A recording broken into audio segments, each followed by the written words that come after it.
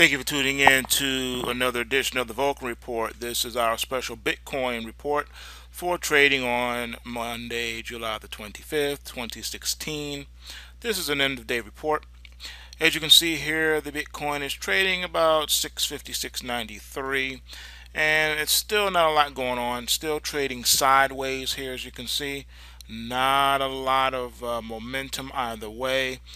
You can see here your, your volume's looking kind of weak, non-existent, almost as if everyone has pretty much fallen uh, out of favor on the trade side of things, and they're kind of like just holding their positions. Uh, they bought, they're long, and they're just holding it. Not a lot going on either way. So this is going to be one to continue to watch and see how it plays out as this wide trading range has been established.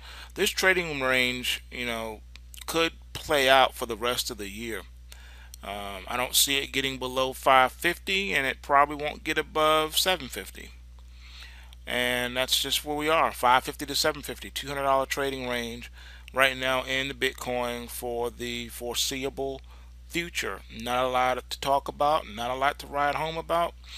It's just what it is. It's just not a lot going on right now in this market. It's already had an amazing run up, as you can see from back here. I mean, what else more do you want? I think it's just going to consolidate here and just chill out.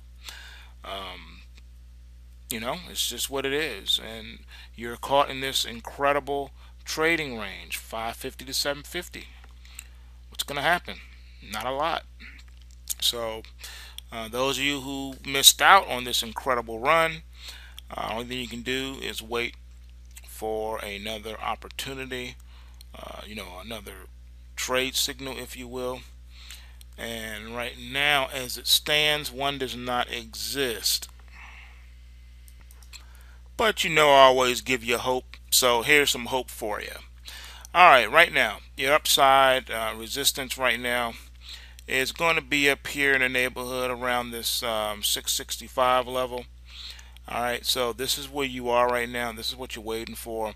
You want to see a break above here. If you get a break above here then this is where you want to look to uh, to get long again as they'll probably try to test up to maybe 670 um, but then again this is where you this is where you're gonna have to really um, have some conviction with yourself because like I said you're in a $200 trading range. And it's been in a on an intraday basis you can see here we've been coming down here in a down and a down channel.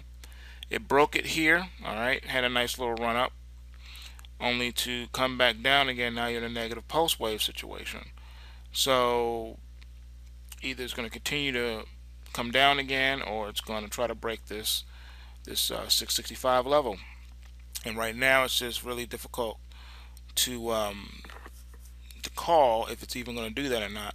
More than likely it's going to still try to um, to break down from here. So with that said I would just have to caution you and say um, you know if you get in just understand you're gonna have to hold it um, and you know you could you could have to uh, suffer a drawdown here if it gets down and test the 550 level.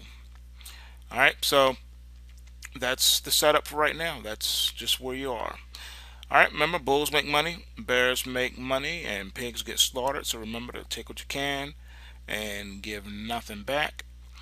And if you are not able to watch the markets or you just don't have time to do it or what have you, holler at me.